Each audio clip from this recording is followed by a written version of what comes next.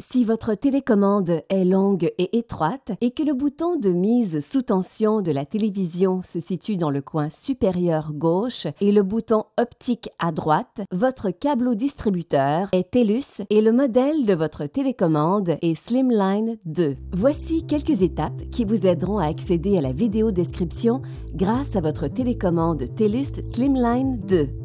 Pour activer de façon permanente la vidéo description avec votre télécommande TELUS, vous devrez utiliser le menu à l'écran. Selon votre acuité visuelle, il se peut que vous ayez besoin de demander l'aide d'un ami ou d'un proche. 1. Au centre de la télécommande se trouve un cercle en relief avec des flèches vers la gauche, la droite, le haut et le bas. Dans la partie supérieure gauche du cercle en relief se trouve le bouton Menu. Appuyez sur Menu pour accéder à la navigation à l'écran. 2. Appuyez sur la flèche vers le bas pour accéder aux paramètres. 3. À l'intérieur de ce cercle se trouve un bouton plat marqué OK. Appuyez sur OK. 4. Appuyez sur la flèche vers le bas pour accéder aux fonctions audio. Appuyez sur OK. 5. Appuyez de nouveau sur OK pour sélectionner les langues audio.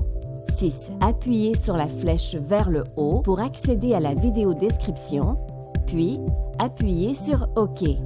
7. Appuyez sur la flèche vers la gauche, puis sur la flèche vers le haut pour enregistrer votre choix. Appuyez sur OK.